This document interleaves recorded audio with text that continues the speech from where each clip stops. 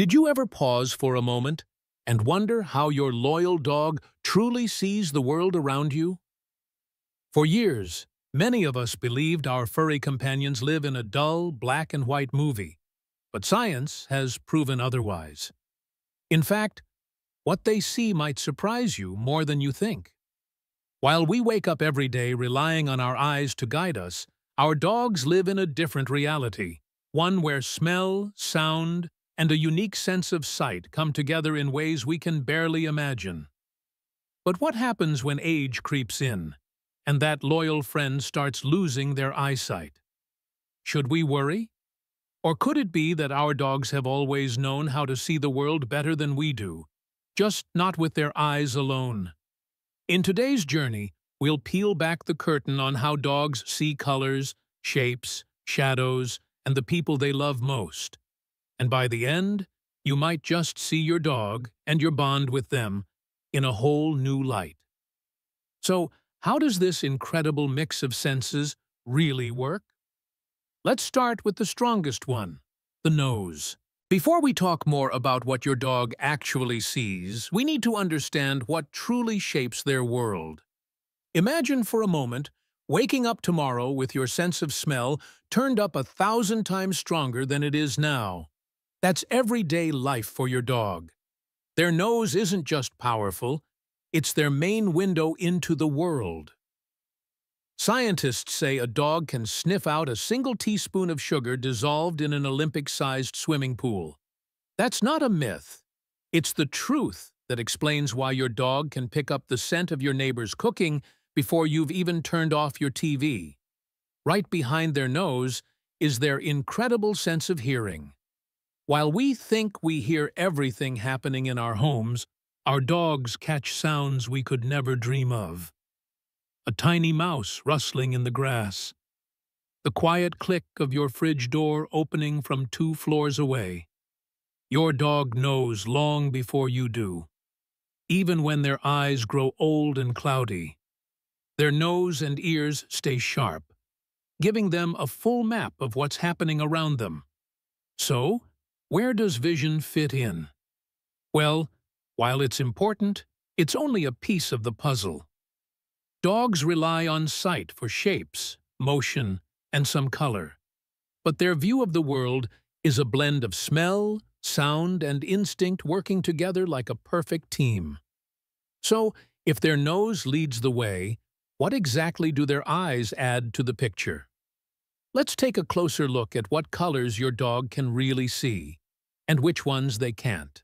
Now that we know vision is just one piece of your dog's amazing toolkit, Let's break down what those eyes really see when they look at you, your backyard, or that bright red ball you keep throwing.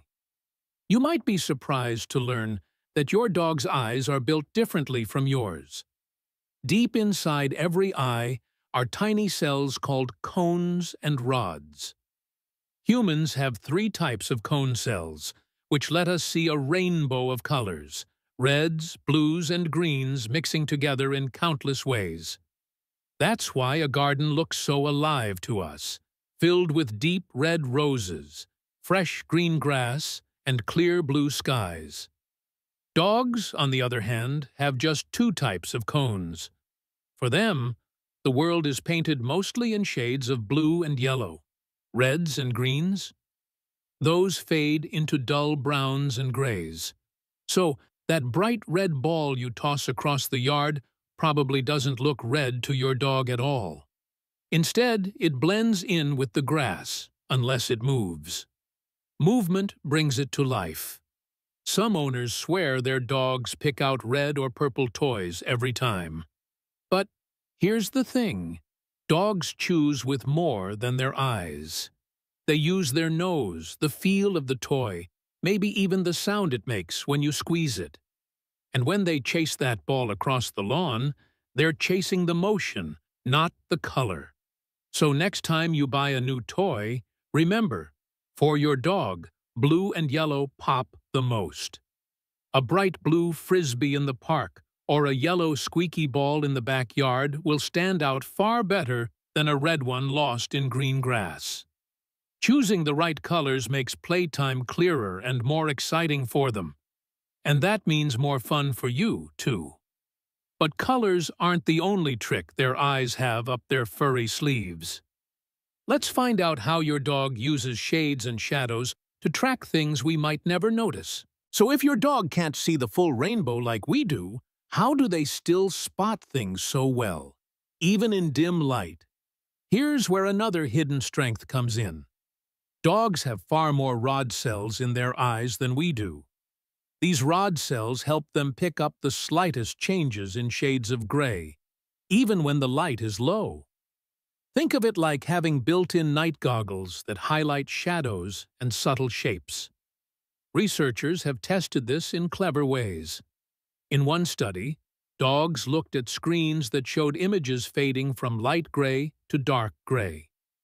Even when the difference was tiny, the dogs could spot which one was different, sometimes better than we could ourselves.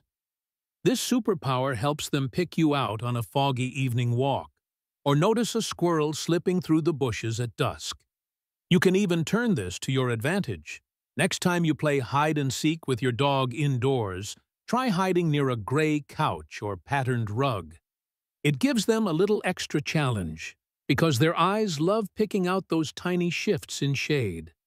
And when the sun goes down, this hidden gray-scale vision works hand in hand with another gift, the power to see when we can't. Let's look at how your dog turns nighttime into daylight.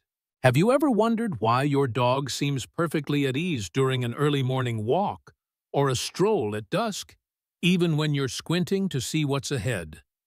Dogs have a secret built right into their eyes, a special layer called the tapetum lucidum. This thin, shiny mirror behind the retina reflects any light that comes in, bouncing it back through the eye a second time. That double pass gives dogs a real advantage in low light. It's the same reason their eyes glow when you snap a photo at night or catch them with a flashlight under the table. But while dogs are built to thrive in moonlight or street light, some modern lights can be a different story. Studies show that dogs can pick up flickers in certain LED bulbs that our eyes miss completely. To us, the light looks steady, but to them, it can flicker like an old TV screen. So if you notice your dog avoiding a room or acting uneasy under bright LED lamps, it might not be the noise or the smell. It could be the light itself. Choosing softer, constant lighting helps your dog feel more at ease, especially at night.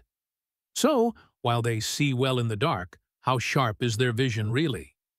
Next, let's find out what the world looks like through your dog's eyes in broad daylight. When it comes to sharpness and detail, your dog's eyes work differently from yours. If you stand 50 feet away and wave, you'll see each wrinkle on your friend's face. But for your dog, that same face might look blurry until you get much closer. On average, a dog's visual acuity is about 20% of ours. So what we see clearly from 20 feet away, a dog might need to be just 4 or 5 feet away to see with the same crispness. But don't feel bad for your pup. This slight blur has a purpose.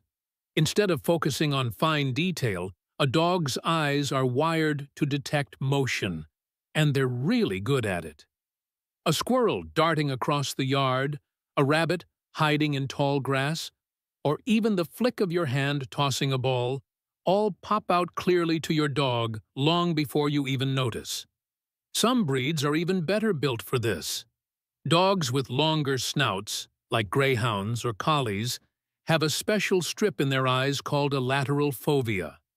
While we have a tiny circle for sharp focus straight ahead, these dogs have a wider horizontal band that helps them track movement across a wide field, perfect for spotting prey or rounding up sheep. So, while their world may be a little softer in focus, it's alive with motion. That's why toys that bounce, roll, or wiggle are so irresistible to them. But not every dog sees the same way. Let's look closer at how vision changes from breed to breed, and what happens when age catches up with those loyal eyes. Not every dog's eyes are built the same way. Over generations, different breeds have developed their own special ways of seeing the world, shaped by the jobs they were bred to do. Take the greyhound, for example.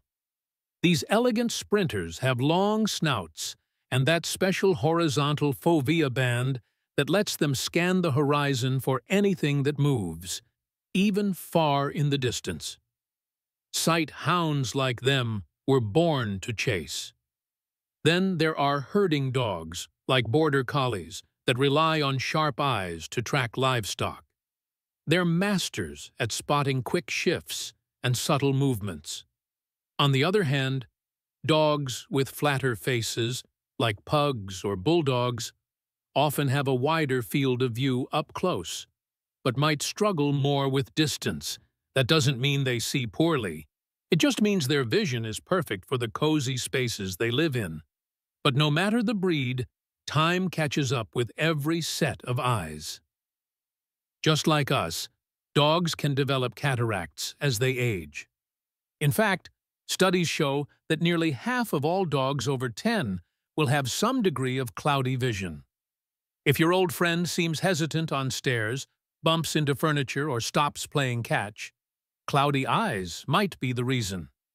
So, what can you do? Keep play areas well lit and free of obstacles. Switch to bigger, brighter toys that are easy to see up close. Many owners find that a light-up collar or reflective leash helps a senior dog feel safer during evening walks. And don't forget regular checkups. Your vet can catch vision problems early and help you make simple changes that keep your dog comfortable and confident. So, whether they're young or growing old, dogs find amazing ways to keep up with us. But for some, seeing is just part of the story. Next, let's discover how some dogs lead the way, even when they can't see every detail themselves. If you've ever watched a guide dog at work, you know just how remarkable these animals are. They lead their humans safely through busy streets, crowded sidewalks, and unexpected obstacles, often in places where even we would hesitate. But here's what surprises many people. A guide dog doesn't actually read traffic lights or signs the way we do. Instead, they rely on a powerful blend of senses and training. When a guide dog steps off the curb, they're listening for cars, feeling vibrations through their paws, sniffing the air for clues, and staying tuned in to their handler's voice and signals. It's a quiet teamwork built on trust and communication. The dog senses danger and hesitation, and the person relies on that sixth sense to stay safe. Vision plays a part, but it's the nose, ears, and heart that do the heavy lifting. For many blind and visually impaired people, this living partnership is life-changing. It's a reminder for all of us that a dog's world is never just about sight. It's about the invisible connections they feel with us every single day. So, after seeing the world through their eyes, what can you do to thank them? Let's wrap up with one final thought. So now you know your dog's eyes may not see the same colors and details that yours do, but their world is far from dull. They fill every corner of it with scents, sounds, and the warmth of the people they trust most. Maybe that's why they always find their way back to you, no matter how blurry the road looks ahead. If you want to give back just a little of that love, Remember the small things that matter. Pick the right toy colors, keep their play space safe and bright, help your older buddy feel confident when the world gets a bit fuzzy. And if you'd like to discover even more ways to understand your dog's secret world, check out our next video about the surprising things we humans do that dogs secretly hate. Hit that subscribe button and stay with our dog-loving family. We're here to help you see the world through your best friend's eyes, one tail wag at a time.